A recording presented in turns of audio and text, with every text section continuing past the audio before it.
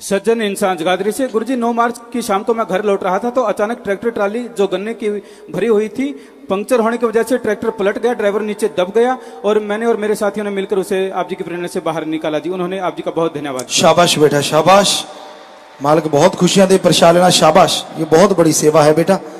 बहुत बड़ी सेवा। किसी की जान बचाने से बढ़ के, खास करके इंसान की बचाना तो फिर और भी बड़ी बन जाती। सो मालिक खुशियाँ दे। शाबाश बेटा।